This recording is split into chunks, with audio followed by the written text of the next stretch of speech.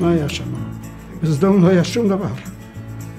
לא גרו שם אנשים, לא, לא, כלום, כלום לא היה שם.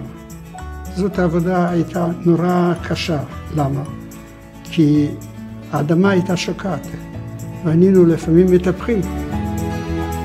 אנחנו העדפנו לעבוד בלילה ולא ביום, כי ביום אי אפשר היה לסבול. אם היה לך פאנצ'ר או משהו כזה, לא יכולת לנגוע בג'ק או בזה, כי זה היה כל כך חם שלא יכולת לנגוע בידיים.